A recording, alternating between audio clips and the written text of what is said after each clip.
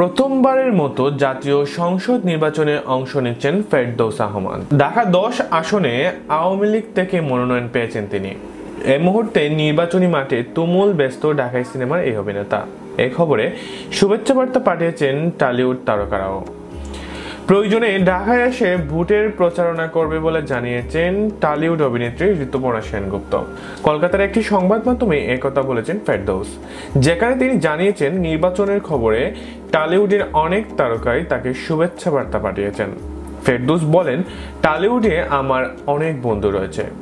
ঋতুপর্ণা সেনগুপ্ত আমার খুব ভালো বন্ধু। ও তো বলেছে, প্রয়োজনে ঢাকায় এসে আমার জন্য ভোটের প্রচার করবে। কলকাতায় যে কাণ্ড ঘটিয়েছিলাম, সেটা আমি ওকে মনে করিয়ে দেই। দুই হাজার উনিশ সালে ভারতের লোকসভা নির্বাচনে তৃণমূল কংগ্রেসের প্রার্থীর পক্ষে নির্বাচনী প্রচারে অংশ নিয়ে বিতর্কে জড়িয়েছিলেন। সে কথাই ঋতুপর্ণাকে স্মরণ করিয়ে দেন ফেরদৌস। এ বিষয়ে ফেরদৌস বলেন, ওই একটা ভুলের জন্য আমাকে প্রচুর ভুগতে হয়েছে। আমি এখনও ওই ঘটনার জন্য দুঃখ প্রকাশ করি